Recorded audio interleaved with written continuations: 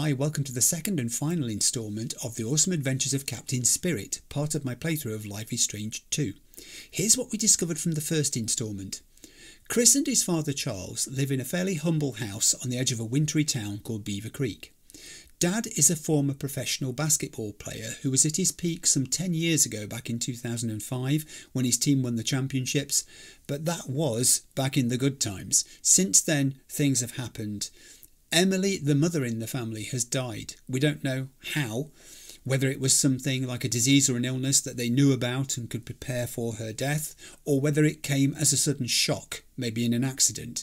Either way, that precipitated a decline. Charles had a job as a school basketball coach, but he got fired after being violent on more than one occasion towards students and for consuming alcohol on the premises. I am guessing the leaflet that Chris found in his father's wardrobe about alcohol addiction was the one that the school principal referred to in the letter that he sent to Charles, effectively dismissing him from his role. They moved house. This is another thing that happened. They fell behind on the mortgage payments on the old house by three months, presumably after Chris lost his job. He now works for the railroad and he doesn't like his job. He's disinterested, he's not invested in it at all. He brings home the company magazine, but it lies in pristine condition, unopened and unread, on the coffee table, and it will stay there until he brings the next one home, I'm sure. Possibly even before they moved, I think the neighbours noticed some changes in Charles. The Reynolds family, who Chris rang, are presumably either neighbours now or were neighbours in the old neighbourhood. Anyway, Mrs. Reynolds sounded very concerned for Chris's welfare when he rang her, and I wondered whether Mrs. Reynolds could be the friend who Emily's parents referred to in their letter to Charles when they said that they'd heard, they'd been told, he'd been in a bar brawl. It seems entirely possible that could be it. Alcohol is a real problem for Chris because his father just can't resist. He drinks a lot and it makes his dad both sad and angry. Added to the incident with the school students, there is the bruising on Chris's arm, which he sustained as a result of one of his father's fits of anger, plus there is the damage to dad's bedroom door, where he's punched it in another outburst. He is a strange mixture, the father, he has a quick temper. He ignores Chris much of the time. He passes his leisure hours watching basketball, living in the past, if you like, and drinking to forget his problems.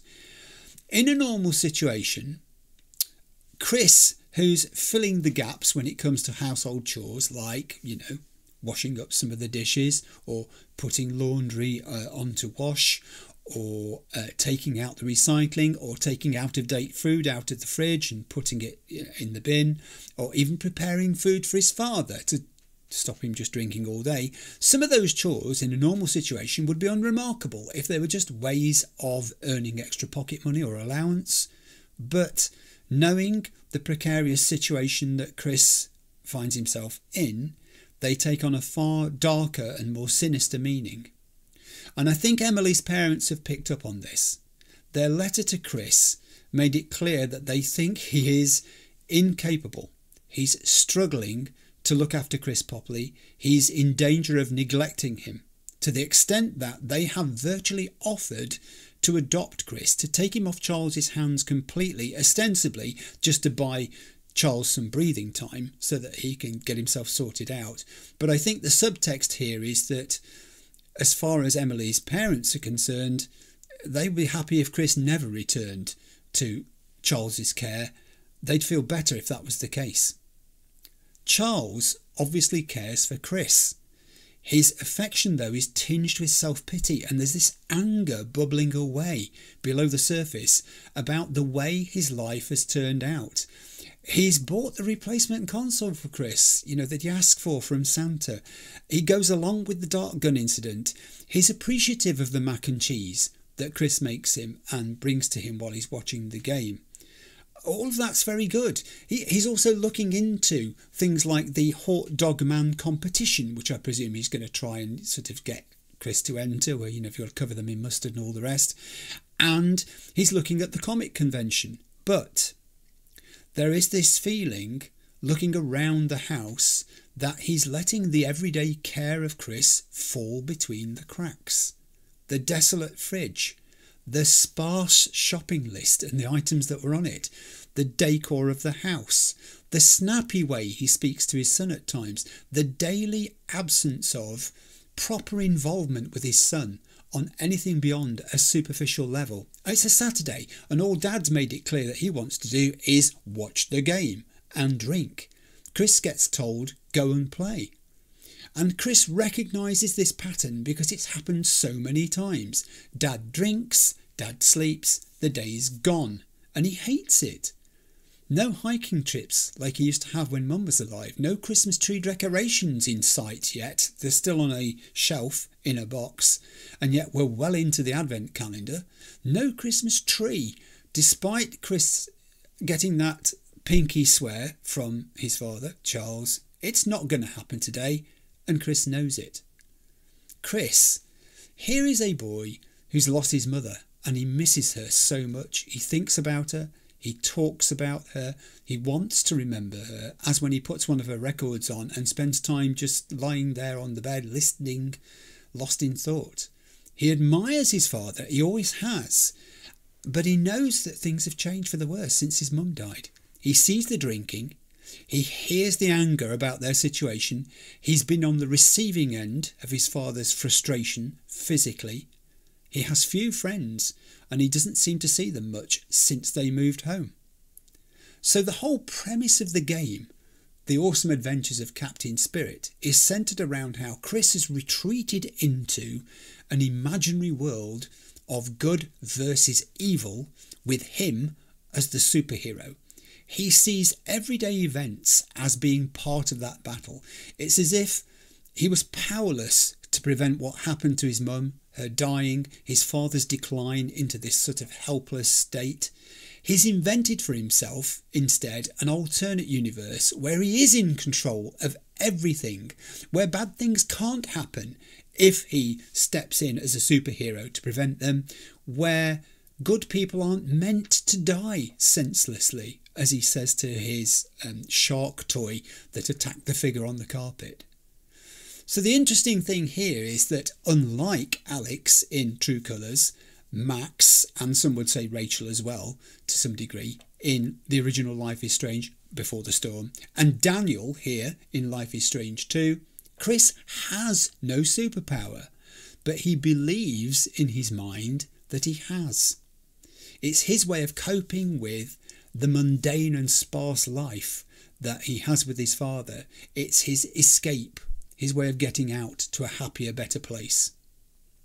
Right, we have more exploring to do. I'd really love to know, find out how it was that Emily died.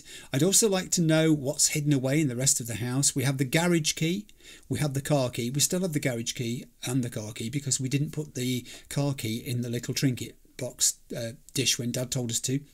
We've had one time with the main story already in the form of the newspaper article talking about the unrest that's going on back home. Uh, you know, the stuff that Daniel and Sean left behind. Will there be more?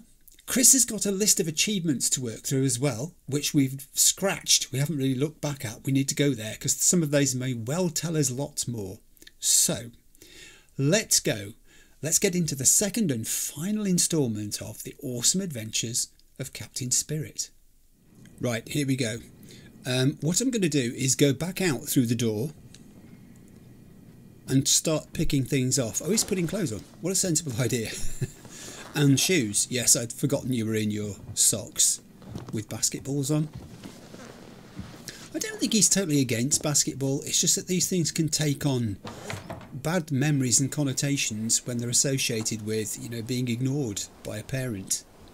If they're into a particular thing, it can become something that you don't like because they do so much and they prefer it to being with you.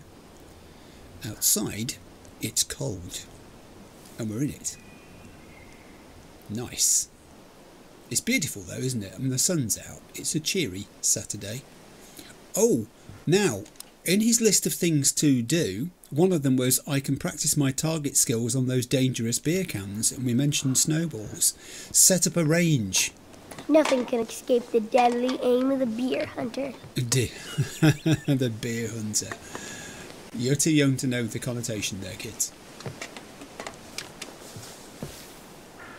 Oh, I see. We're going pyramid. None of your cheap target rangers here. Isn't it fortunate that Daddy got through so many cans of beer? Oh, please let us throw the snowballs. Come on, come on. Yes! Oh, do you know what? I kind of want to miss deliberately the first time just to see what happens. Oh, nice. Another one. Do it again. Um, what happens if we try and hit something else? Can I? Oh, it won't even let me aim that What if far I had real superpowers?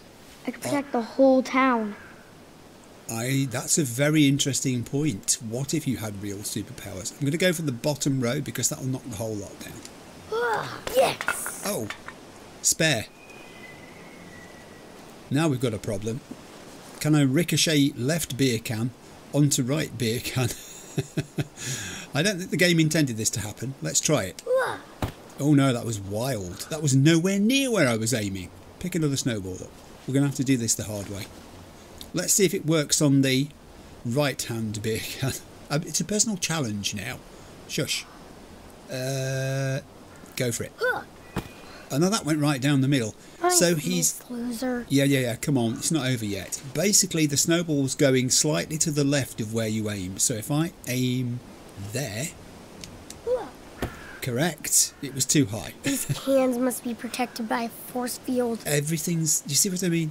Everything in his mind is part of an adventure game. Aim a bit lower, Chris. You'll get it. Ooh, Oh, come off nice it! miss, loser. Is it not going to let me get these last two cans? I'm going to aim even lower. Oh, hi. That's interesting. So it didn't kind of lock onto them until I was aiming pretty low down. I'll do that the same with the left hand one then, it should work. There we go. It turned into a target. Ah, yes. Yes, Pow. Boom. mission accomplished. Recycle that. Absolutely. And the bins are away, and it's suggesting that we've actually achieved something and we've saved something. The logo appears when a task has been completed. Yes, big tick. Alright, I'm worried about these tasks because this one, uh, I could play Mustard Party 2, but I need to unlock Dad's phone. I have no clue. I've thought about this. I just don't know. 2005 didn't work. That was the most obvious number that we've discovered. In fact, it's one of the only numbers we've discovered apart from phone numbers. It can't be a number from a letter or something like that, can it? Why is there a shovel there? Interesting. Oh, I see. Hmm. That snow looks super slippery. Yes. I can shovel it. it's a hazard. It's the sort of thing Captain Spirit should deal with to protect the population. We're shoveling snow, folks. I don't think that was one of his objectives. It should have been, really, shouldn't it? Don't you think? I just love the artwork. Look at it. It's just so Extra bonus points unlocked. relaxing. And it's a game again, isn't it? He finds fun in things that he has to do. And his dad hasn't told him to do this, you know, he's just doing it. Partly because I think it's something that he feels should be done, and partly because he's bored. What else is there to do? you got a feel for the kid, haven't you? We can't interact with the mailbox. We can interact with the mailbox. What is this? No way. Oh, God. For family fun, come play with your gun. Clean Harry's Gun Range Holiday, sale and show, December 20 to 21, all day Saturday, Sunday, and there's an address and a website. And three smiling people, proudly displaying their firearms.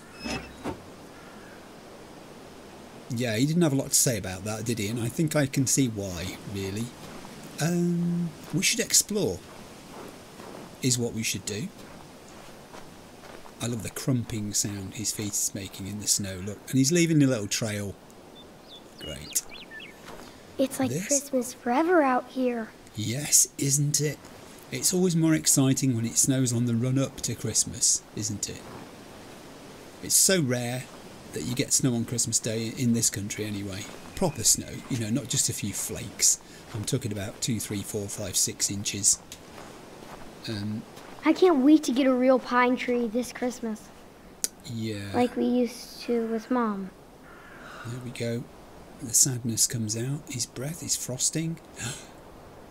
that answers the question. The Reynolds are their current next door neighbours. I'm glad our neighbors look out for us.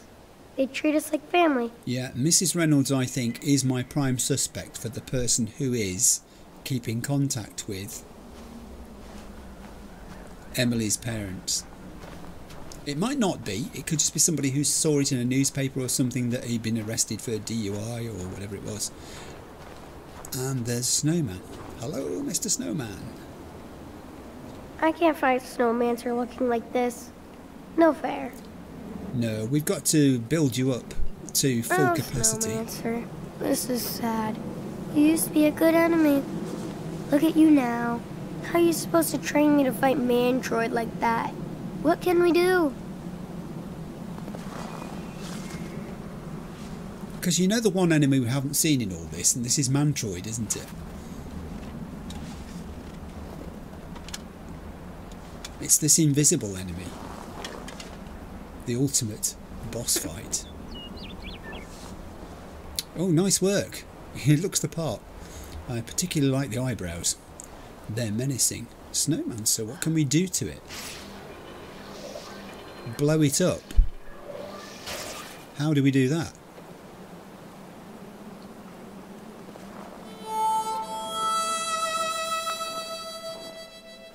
Oh, he's going to try and use his superpowers. oh dear. This backyard's too big for the both of us. Go for your spade. It, it's a bit Dalek as well with that um, sucker sticking out of his middle. Here we go again with the camera shake. I don't think it's going to... Did you see that? That that's like the bit in the office where the coat hanger, the coat stand moves. Do you remember that one? Have you watched it, the US office? Thought it was so funny. Uh, yeah, we can't blow Snowmancer up. Interesting. And yet we're meant to. Let's carry on looking around. We have got car keys, haven't we? Let's jog to the car. The snow reminds me of the Great Ice Apocalypse War. Oh, yes, who could forget that? I wonder if Dad will teach me how to drive. I don't know, and I'm a little concerned now that you've got the car keys. Oh, hello. It either wasn't hope Dad doesn't get in trouble because of me. Why, what's happened? BCSS Beaver Creek Social Services, November 29, 2016. Dear Mr. Eriksen, this is Dr. Tamara Foreman of Beaver Creek Social Services, BCSS. As a representative of the county's elementary school districts, we would appreciate if you could arrange to come in with your son, Chris Eriksen, for a meeting on Monday afternoon at 2.15pm at our local office at 2775 Walter Street. If you have any questions, please call our office at Sincerely, Tamara Foreman, MSW, BCSS. Interesting. Someone has contacted social services, maybe the school, maybe a neighbour, maybe the grandparents directly. Oh, we have a power action for the spirit reveal. What Can't can go we to do? Mantroid's planet without finishing my costume. Oh, okay. Right, right, right. Let's. We've seen that bit. No, we don't need to do that. Let's put it down. I hope Dad doesn't get in trouble because of me. Yeah, uh, it's interesting that he's still defending his father. We haven't finished the costume. We haven't finished the costume because if we had, there'd be a tick, and there is no tick there. We've not finished the costume. We need to go into the garage, which is this building here. And we have the necessary key. Now, this is the second building in the game, so there ought to be something worth seeing in here. If that is, What made that noise? Oh, we've got wildlife. It's dark in here. Oh, there's the light switch. Oh, don't open the door. Chris, come back. Don't be scared. The, the, the controls are a tiny bit twitchy. I don't think it's me. It's possibly that I've been playing other games recently and it's slightly different. You only have to be pointing in very fractionally the wrong direction and it won't let you do what you need to do. What have we got here? We have a locked cabinet. Alright, I'm la, gonna... la la la. Christmas rules, bring me the presents. Yeah, you're exciting now, aren't you? That you know you're getting your playbox spray paint. Now I can color Captain Spirit just like my drawing. Ah, finishing the thing off. Spray it. Wh- what exactly are you spraying? Not yourself, by the way. Why'd it go dark? What is going on?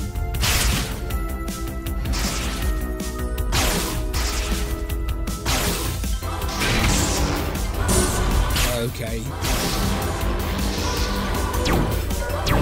This is pretty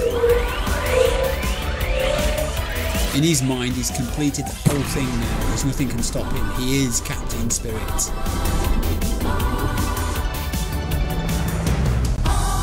Very good.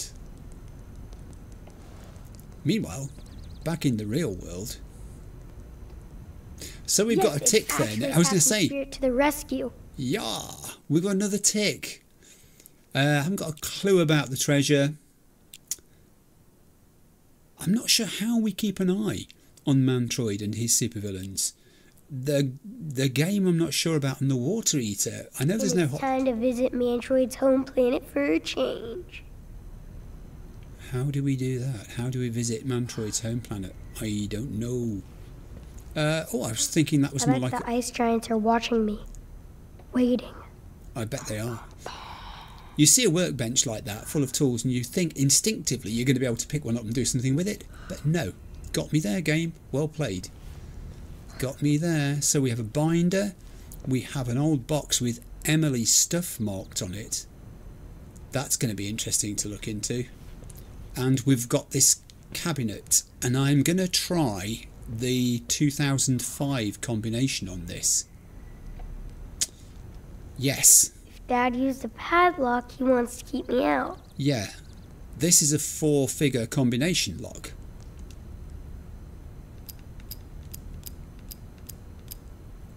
I'm thinking he must have used dates that were of significance to him, and 2005 was the most important Yes. year in his life. We're in. Unbelievable. Oh, there's so much in here. Here's the firecrackers.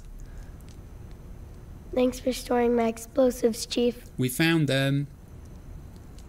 And I'm guessing Now I'm ready to rock. Yeah, it's showing now that we've got the firecrackers. I I think we can now uh, blow up Snowmancer. There's stuff here, and I'm going to read all of it, and we'll go back over to Emily's box and the binder in a moment. And also, I spotted something on a high shelf that looked like hiking boots. Uh, let's look at the grandparents' letter. Grandma and Grandpa were so nice. I wish we saw them more. Yeah, and I think there's there's a thing going on there, isn't there, Chris? I think Daddy is distancing himself from them. Dear Charles, thank you for your lovely note and flowers for Kristen's birthday. They always mean more coming from you. We miss you and would love to see how Chris is growing. Like you, we also still miss Emily every day, every hour and minute. And we know that grief is part of your life, so always know that we think of you often. We're always here for you, like we were, like you were there for us, forever. Please stay in touch, and let's make plans to meet soon. Your family, and always in our hearts and prayers. Love, Peter. Interesting. Interesting. So, since that note, I wonder how much contact there has been between Charles and Emily's parents. Binder. Another binder. Oh! Answers to questions. Local woman killed in hit and run. Police are seeking witnesses to a fatal hit and run that occurred on December 16, 2014 at 7:15 p.m. Tuesday night on Mantle Street and Asteroid Drive. The victim identified as Emily Eriksen, 28, of Beaver Creek, Oregon, was apparently walking from her stranded car when she was struck head on by an unidentified speeding vehicle. She is survived by a husband and son who were not on the scene at the time. Captain Anderson says that the toll cameras may hold important clues. We're treating this as a case of vehicular homicide. Anybody with information regarding the incident should call the anonymous Beaver Creek police hotline at 555 capture. Emily, 28. And there she is. That was Emily. Okay, I wonder if you've ever seen that before, Chris. I wonder if you have. I think that's everything that's in here.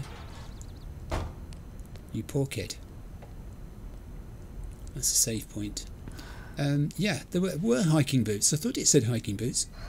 Dad never threw away Mom's hiking boots. Good. Yeah, you shouldn't throw away memories, should you? Objects are good at bringing memories alive.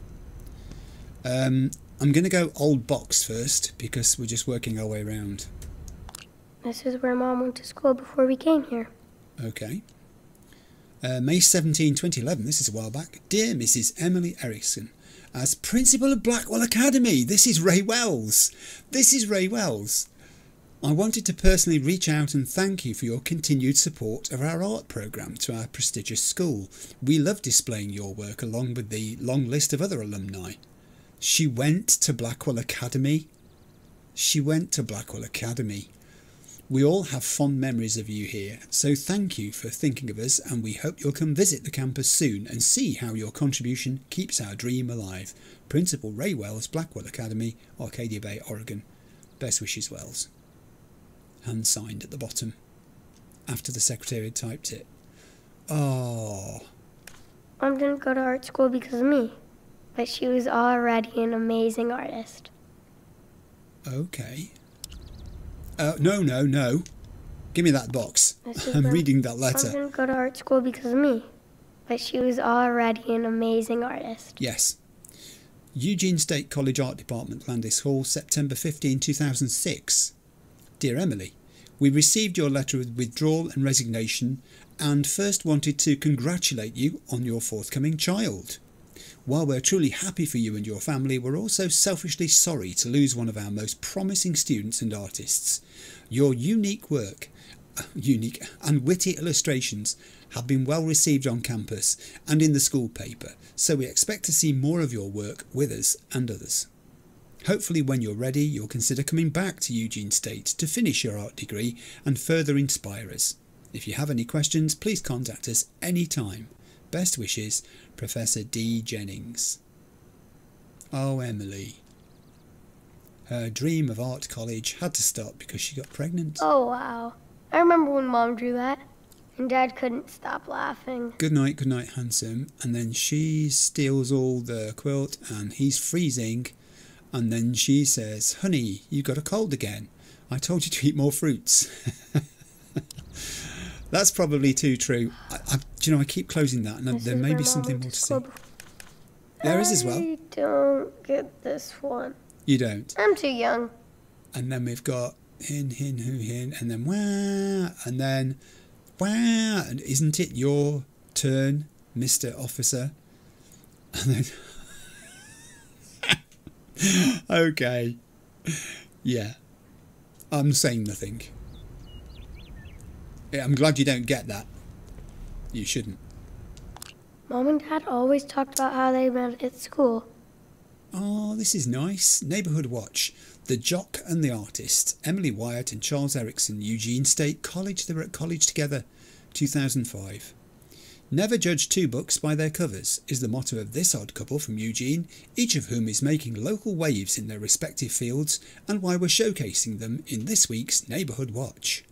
Emily Wyatt is a cartoonist whose witty work about her strange life has been featured in print and the web, even in the pages of this paper. She hates all sports, by her own claims, yet is engaged to Charles Eriksen, a local basketball star, who some say is headed to the Oregon Ducks. Ironically, they met at the library and found true love among the book stacks while helping each other study for their tortuous finals. I'm math and she's art. says a shy, blushing Charles, clearly a man in love. Which are actually the same thing from opposite sides, adds Emily with a warm smile, taking her new fiance's hand. Interestingly, though, that's 2005, so it was the college championships that he won then. Maybe he was never a professional basketball player as such, you know, in terms of going mainline full stream into the professional world of it. Um, yeah. Oh god, this gets more sad by the minute. So they met at college, they were really happy.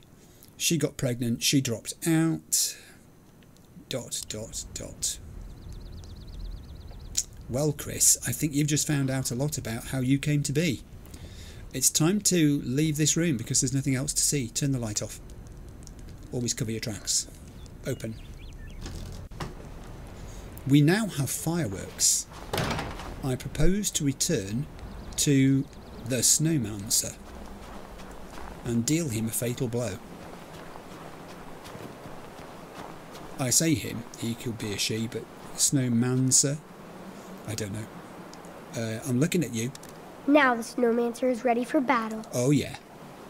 Bring it on. Blow it up. Blow it up, Chris. I mean, this is not going to go down well.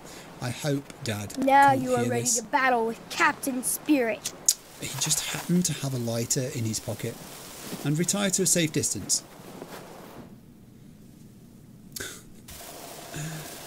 Observers say they saw the snowman's head explode. Oh, well, a bit, anyway. Yes! That's got to be So mission accomplished.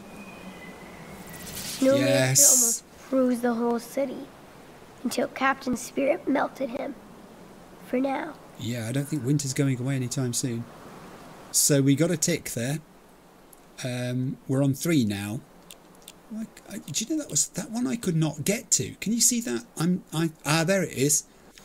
That's weird. I had to go across and down before I could go to it. I thought you'd be able to go for it from there, but you couldn't. So things we haven't done are this treasure, uh, this warning about keeping Oh, I bet Mantroid's still hiding on his planet. With my full costume, I could use my spaceship and find him. We haven't done that. We haven't done the superhero team is strong. Keep an eye on him and his villains. Mustard Party 2 and the... There's five things we still got to do.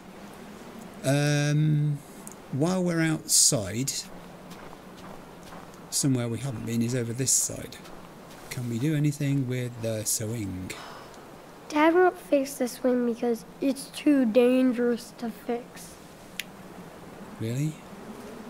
Okay, we can't do anything with it. I thought there might have been a superpower we could have used. How do we actually... There's a ladder. Thanks for answering my question. Behold, the flying fortress. I think we should go there because we haven't been. And it's inviting us to, so let's do it. I don't know that we're going to complete all the tasks here that, that Chris has on his list. I'm not even sure if I can because I still can't work out the code for the phone. Unless there's something up here.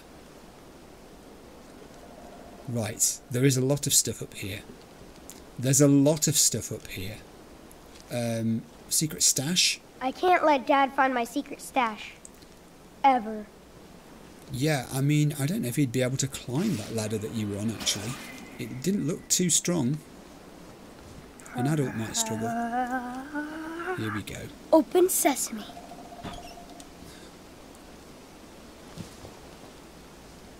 I've been known to say that when I walk into shops. you know, the ones with automatic doors? You walk up to them go, open sesame. Well, I do. Sorry. Um, there's a load of stuff in here. Baseball cards. These are my favorite baseball players. Even if I don't understand the stats. Now that's interesting, isn't it? This is baseball. Dad's not a baseball person. Dad is. It's just got names of them. I, I don't know if they're real. Um, Dad's a basketball player. Maybe he keeps his baseball cards up here because he doesn't want his dad to see them and be disappointed that he's into a different sport. Decoder. Maybe I can use this to read the map. Is that like uh, tissue paper so that you can see through it? Oh, we'll take it with us. Now I can use this to reveal the full map to my next adventure. It is, look. It's translucent. And it's showing up in the top that we've actually just picked that up, which is great. Right. What's next? I loved watching Mom draw her comics. Oh, it's another one of Mum's drawings. What are you cooking me, my sweet Valentine? And he replies, Your favourite dish. She says, Pizza. He says, Happy Valentine's Day, sweetheart. It's literally modelled on them, isn't it? And their life. School letters. Why are you keeping them here? Harry did say mean things about Dad, but I can't let him see this. Oh, this is why you're keeping things here. Um, do you know, I think I've got a little spider crawling on me. Something's irritating me. Uh, let's read it. Dear Mr. Eriksen, he intercepted this letter. I wanted to let you know that your son Chris got into a small fight with my son Harry Sorber and his friends after school this week. Chris claimed they were saying inappropriate things about you, but Harry is not that kind of child and only knows you through me. As you might know, Harry is an honour student and a decorated Boy Scout. Maybe you should talk to Chris about his behaviour. If this bullying continues, I will be forced to speak to his school. Sincerely, Mr. Brett Sorber. Ouch. This is my worst report card. Whoa. I'm doing better now. That's interesting.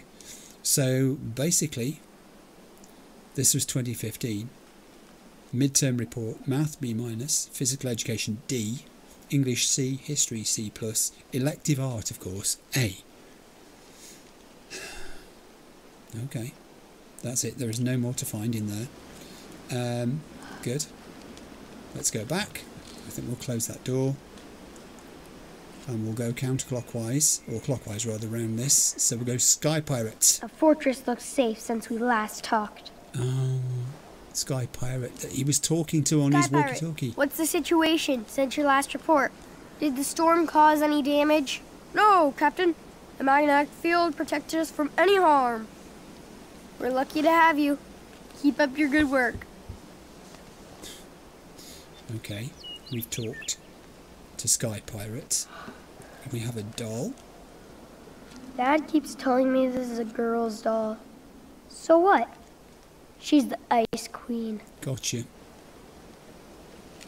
And then we've got Noctired. That's Noctarius' son. He looks like his dad. I mean, this is a great little place to hang out, isn't it? And we've got a bowl. I had to rescue my old cereal bowl after Dad used it for an oh, ashtray. Oh, man. Gross. Very gross. And we have a lookout from where we can sit. I think we've seen everything. I'm looking up as well because you never know if they've hung something from the hmm. roof. They have not. That's it. All the way round, we'll go and sit on the edge and look out. Perch yourself. We've got that overlay for the map, so my my intention is to return to the house now, return to his room, put the overlay on the map and see what it shows us. After we've had a brief look at the wintry goodness. Yeah, they really are on the edge of town, aren't they? There is no one around apart from them and the Reynolds by the looks of it.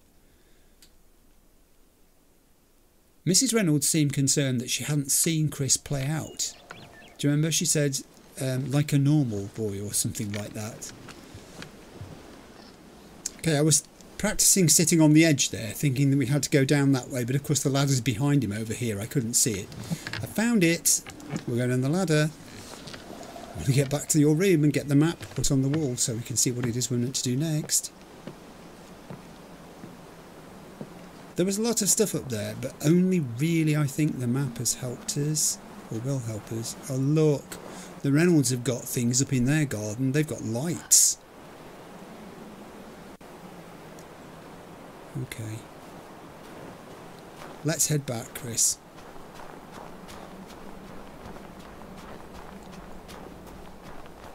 Some of the things on his map are making sense, and some of them we haven't really connected with yet. The real world locations and the sort of fictional ones that he's made up don't quite tally. Stamp those feet. Don't you bring that snow in. You really did spray the spray paint, didn't you? And Dad's asleep. We'll just go and confirm this before we head off to the room. Pretty sure he is, though. Um, we could put the car keys in the bowl now. We've been asked to do that. Yeah, we don't need them anymore. Let's just see. The game is finished. And Dad is comatose. Should we wake him up yet? Or should we... Do you know, let's not. Let's go and do this map. Now I'm guessing we put our overlay. Time for Captain Spirit to put these pieces together. Okay, so we can move it, we can rotate it. Got it. All right. Um, hmm. Let's try some rotation. Did we- I have to place it right. Yeah, we do. We've got two. Let's try this. No, the distance between these two is too much. Oh, is that one up there? I'm so silly. That's one. There. Um. No, I'm not as silly as I thought I was. That shape there with the X should match on something with the map, shouldn't it? Is it this corner here? Is that it? No. The treasure map is not secret anymore. It's It was the one. mine. Okay, it was the number one. It just wasn't perfectly lined up the correct way around. Right, so the it's in the maze of doom. Is that right? Is that that sort of junkyard area that we found? Yes, it must be because there's the flying fortress. Okay. So, if we go back, we've got to go back outside again. Have we just come in? Suit up. Right, we're out. We're going to head into this junkyardy corner over here. It's just a pile of junk. That's not it. Hmm, interesting. I wonder where it is then. Uh, it's not going to let us go out here, is it? Game says no. So it's got to be somewhere within the perimeter. Yeah, I mean, there's a hard boundary, I think. It's Where? not safe out there. Yeah. Yeah, Dad. I know. Yeah, I know too. There's a hole in the wall there. what? Looks like we had a visitor. Yes. Or as one sci fi film said, uh, either something wanted to get in or something wanted to get out. Oh, is it over by the pond? No, I don't think it is. Oh, hello. Creepy tree.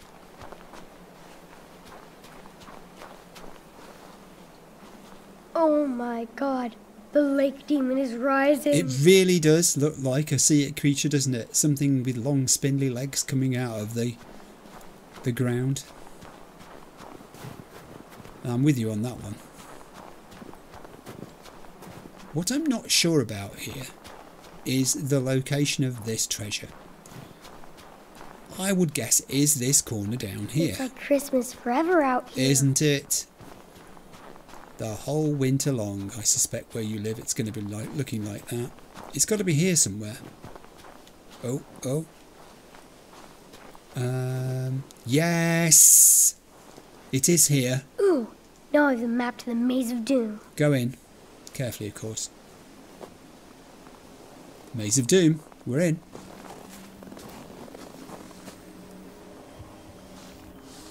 Oh, look at this.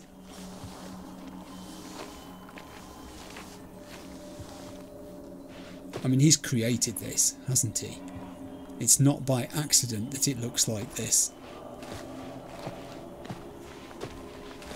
It isn't very safe, I'd have to say. As they say, don't try this at home. Oh, I have no idea. We'll go right. It didn't look that big from the outside, did it? And maybe it's not. Perhaps it's just his imagination. Oh, it's a maze. It's actually a maze. You better look at that map again. Why? What did I do wrong? Can I actually see the map now? Oh, I can't see the map again now. oh no. You mean to tell me I needed to read the map? Um, alright. We'll go left. Give me an option. I'm going left.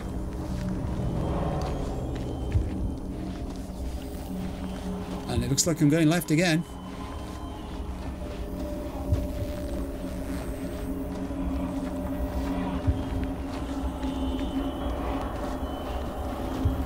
Don't tell me off, game. Don't tell me off.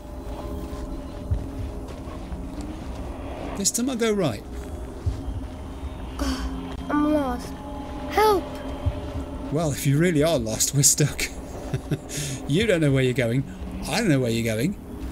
I mean, I can press leave. We'll have to go back to the house and look at the map, I think.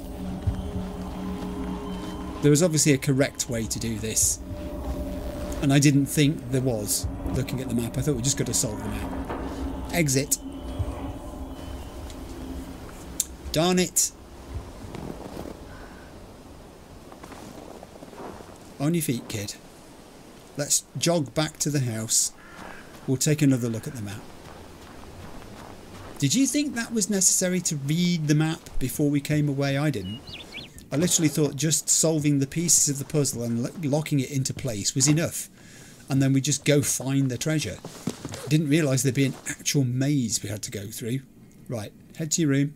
Don't mess about. Don't worry about waking Dad up. He's, he's in an alcohol-induced coma. Treasure map is not secret anymore. Oh, wait it's a minute. mine. I was misreading the map, wasn't I? One is left, two is right, three is left, four is left. So it's left, right, left, left. My mistake. Hey, I didn't say it was going to be a perfect run, it's a blind run. Yes, it's time to put those outdoor clothes on again. So it's left, right, left, left.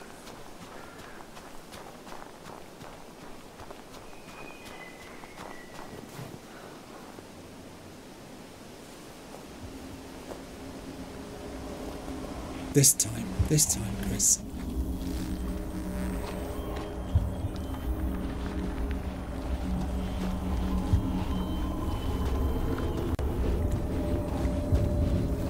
Left.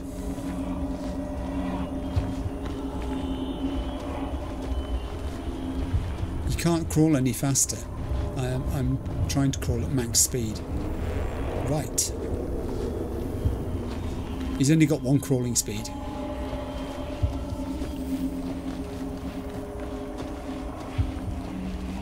Left. And this had better work.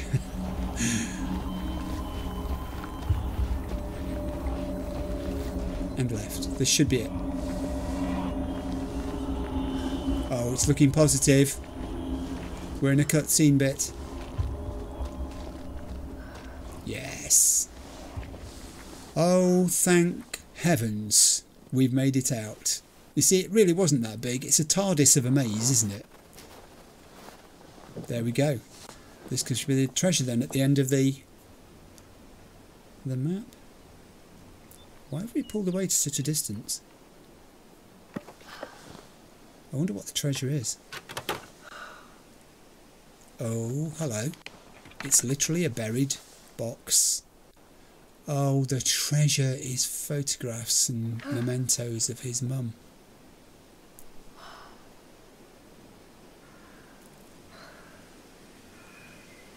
And isn't it strange? It's it's almost like his dad won't let him have these things scattered around the place because it's just too painful. Saturday's homework. Who's the boss? so he does it by keeping them outdoors, buried in a secret location. And there are happier times with the three of them when he was a tot.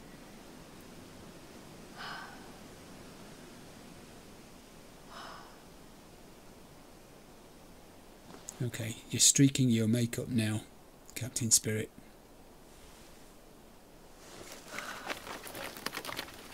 Oh my gosh.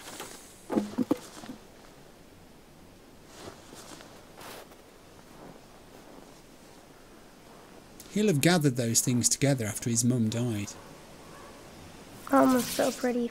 I miss Mum's smile. And the only conversations he's having about this are basically with himself. So all the top row of challenges are done. None of the bottom row. Um, I have no idea how we do this. Do we go... I mean, we've done everything outdoors, haven't we now?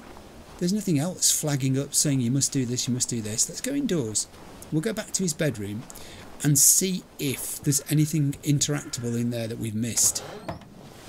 Because a lot of his superhero toys were in there, were they not?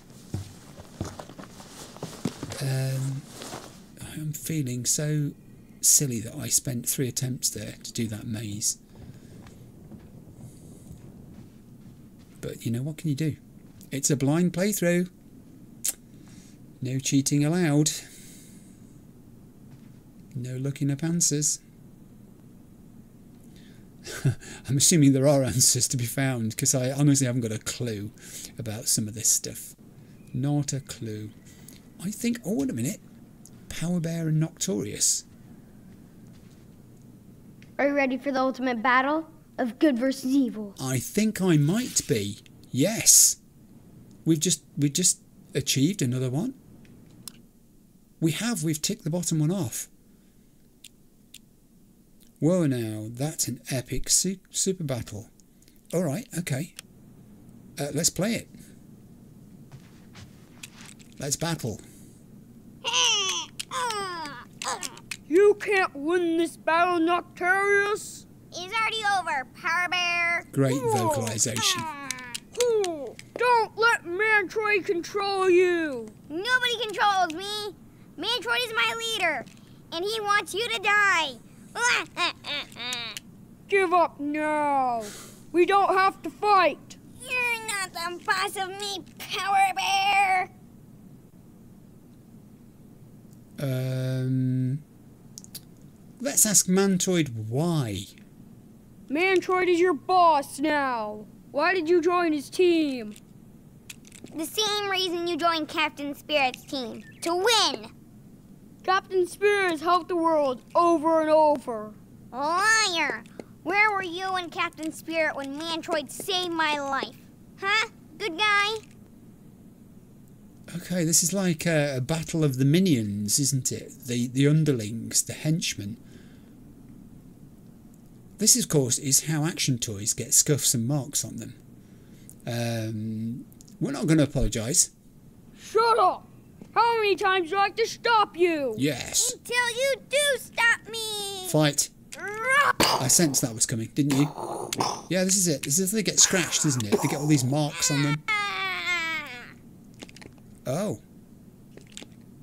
Ow, my back! How? How did you do this? I can't move! Captain Spirit! Captain Spirit! Please come to my aid! I can't defeat Noctarius on my own! I can't! Captain Spirit! Um. Is he is he vengeful or is he benevolent? Let's be benevolent. Release him, Power Bear. Oh, yeah. Captain Spirit's got your back, loser. He decided to spare you. That's a real hero. Now go back to your master. I wonder if there was a. Mantroid will get his revenge for me! Thank you for keeping me from the dark side, Captain.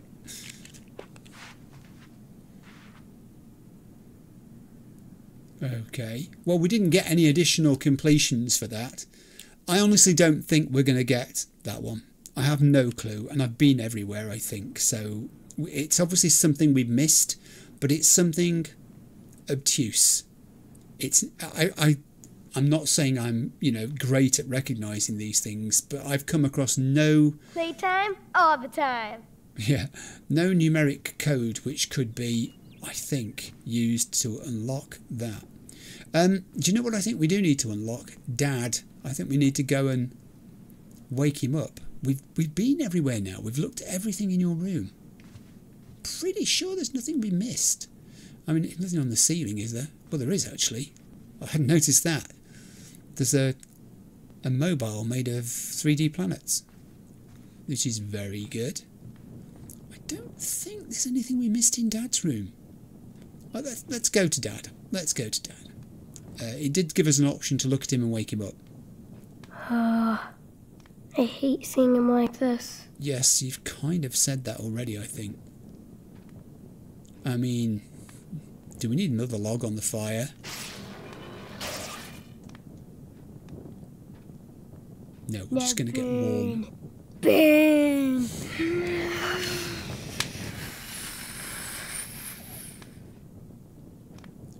It is the case, isn't it, that he was powerless to prevent his mother's death. We know this now in the accident.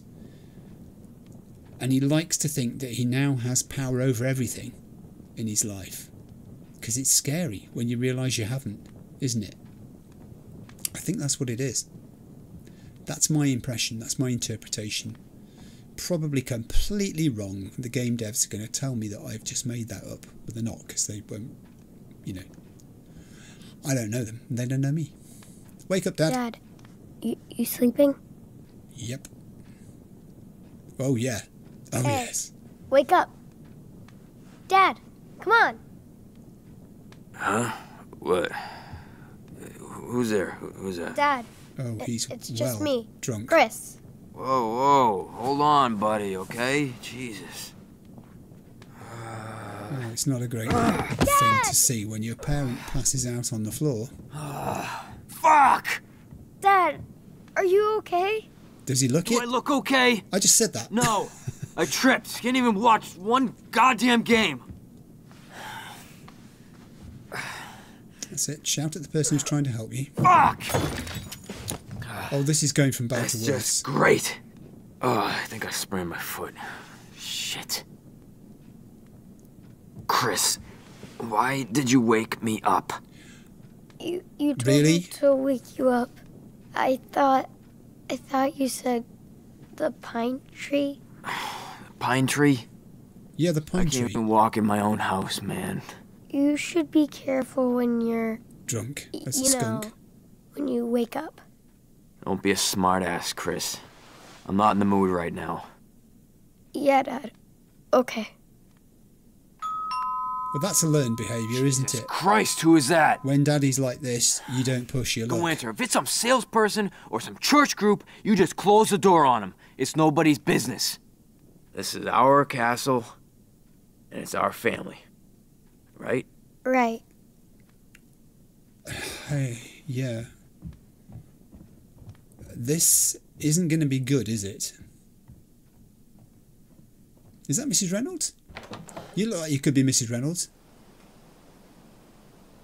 It's not. Oh my, look at you. It is Mrs. Reynolds. What kind of costume is that?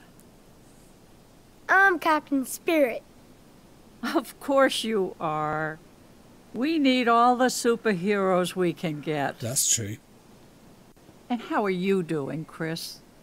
Good, Mrs. Reynolds. Kindly old lady. Just, just. Just? Uh, what's he gonna say? Uh, he has been cleaning the house. Just, you know, cleaning up the house and stuff. On a beautiful Saturday like this, you should be playing instead. I even saw you clearing the snow out of the alley, so There we I go. hope you don't work all day. She's been watching. Well, it's laundry day. Dad's watching the game. So, He's trying to close the door on her, isn't he? That explains all the beer cans. And she's got her foot in the doorway. Actually, I, I was going for a nice walk, but it sounded like the 4th of July over here. She heard Is all the everything okay? noise. Um, do you know what, Chris? I honestly think it's time to be truthful here. oh yeah. Dad just tripped and fell. But he's okay. Sounds like he tripped over a whole bunch of beer cans. She's not right? stupid. Okay, Chris. I think I've heard enough. I'm going to talk to Stephen about this, and we'll be back to chat with your father. Wait. You don't. Please. Listen, I'm not trying to hurt you, okay? It's quite the opposite. We want to help. You're not in trouble. You haven't done anything. Just stay put, and we'll come by in a little bit. Yeah, I mean, that's the classic case of a child who's frightened that what he's got left is going to be taken away. And also who blames So what did that nosy bitch want? Ooh, easy. Nothing. Oh, nothing, huh? I was listening. I heard it all. You could have gotten rid of her. I tried. Man, here I we bet go you want again. to tell her what a shitty dad you have. Huh. No, she just wanted to say hi. I didn't say anything, Dad. Oh, not I again. swear. Dad, please believe me. Jesus, stop that whining. You're not a baby anymore. Oh, boo-hoo, Daddy. Believe me, He's an unpleasant man. grow up. But You're I. just, just like your mom. Every time I look at you, every time you talk, Stop it. just, I see your face. Why? And if it wasn't for you, she would have never taken the car that day. Oh, you're going to load it onto the Never. kid? Oh, hey, Chris, look, hey, I didn't mean that, buddy. Oh, I think it's a little late for that. Yes. Yes, you did. No, listen, Chris. Yeah, I think that is the point at which you just lost your son.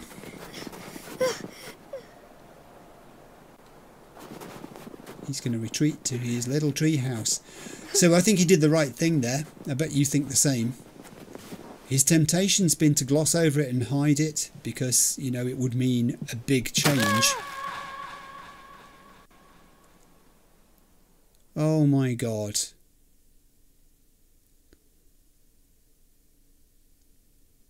What the heck? Don't tell me he has got superpowers after all of this. No. Is that it? Was that the twist? Oh my god. The kid should have broken his neck falling out of the treehouse and he didn't. Oh my. Oh! no! That was the twist. Daniel saved him. to be continued. All right, well, I guess that is the end of the awesome adventures of Captain Spirit. Um, so I'll be back with you in a second. So I just want to say I thoroughly enjoyed the awesome adventures of Captain Spirit, first off, both as a standalone activity and also because I appreciated the tie ins with the main Life is Strange 2 storyline going forwards. It was very cleverly done. I'm sad that I didn't complete all the awesome adventures on Chris's sheet. I did try and we got most of them. I think there were two or three that went uncompleted. One of them was that blooming mobile phone of his father's, which I did not find the unlock code for. It has to be somewhere.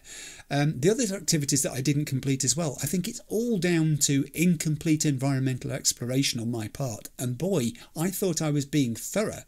So I'm now torn between Googling to find out what the unlock code was and where it was that I missed it, and not Googling because I know I'm going to play this game again, and it's a lesson to me to be more conscientious next time and leave no stone unturned, and I think I'll probably err towards the latter of those two options. So, based on the ending that happened, the choice that we make when Chris was talking to Mrs. Reynolds, I have been playing the What Happened Next game in my head, and here's what I think happened next. Mrs. Reynolds and Stephen would have probably entered the house and would have seen the state of it and the state of Charles and the you know the damage that had been done, and they would have contacted social services urgently, and they would have attended, I think, straight away because they already had concerns about Chris from that letter that he found. Chris would have been removed from that situation very quickly into their care for a time, a short time, I think, but ultimately would have ended up living with Emily's parents, his maternal grandparents. They've already said that they were willing to do this, and you know, it was what they wanted in their hearts to be able to care for him. Uh, and just an aside, talking about Emily, how tragic it was that she died you know, in that particular way. I did speculate it was either a gradual death or a sudden death. Obviously, it had to be one of the two. But in a hit and run accident, you know, it, it's awful. Um, but how brilliant it was that Emily attended Blackwell Academy.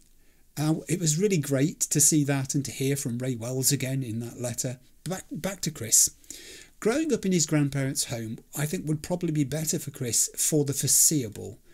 He would be having a much healthier life with people who cared properly for him, who loved him really, and he'd be able to speak about his mother and celebrate her memory in the company of people who loved her too and who also weren't afraid to keep her memory alive and have photographs on display and be reminded of her constantly and the love that they felt for each other rather than these things be hidden away in boxes um, you know like Chris had done with his maze and the treasure at the end of it, which were things that he had to keep hidden from his father because they would, you know, if he kept them lying around and was always looking at them, it would just make his father angry. And that's very sad. Maybe in time, Charles would have been granted supervised access to Chris. Uh, that's assuming two things that one, Charles ever wanted to have any access to Chris in the future, given what he, the nasty things he'd said about him, and also assuming that Chris was willing to give his father a second chance. Neither of those two things are a given. Who knows?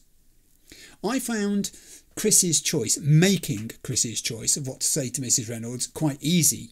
Uh, but nevertheless, for the character of Chris, it was a very brave choice to tell Mrs. Reynolds the truth, because I think he probably suspected his father would be angry.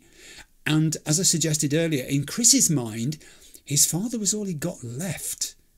And it might not have been brilliant, but Chris might even have been scared, thinking, "Well, what's going to happen to me and my the home where I live? Uh, what will happen? Where will I go? And what will happen to my father?" Because we know he still deep down loved his father and had admiration for him. But I think also that Chris had reached a point where maybe because of his father's latest drunken self-pitying episode, he wanted to tell someone. He wanted someone else to share the burden that he was carrying. And I think Mrs. Reynolds also was a smart cookie. She kind of suspected all wasn't well in their house, and the latest set of loud noises coming from it tipped her over the edge. She was not going to let it pass uninvestigated. It would have been interesting to know what would have happened had Chris lied to her rather than told her the truth about dad has just fallen over, whether she would have pressed it and insisted on entering the house to, to see for herself what was going on. Going back to Emily, the whole story of what happened to her, the sudden unexpected death, and then the falling apart of Charles as a father, the neglect of Chris, is a tragedy.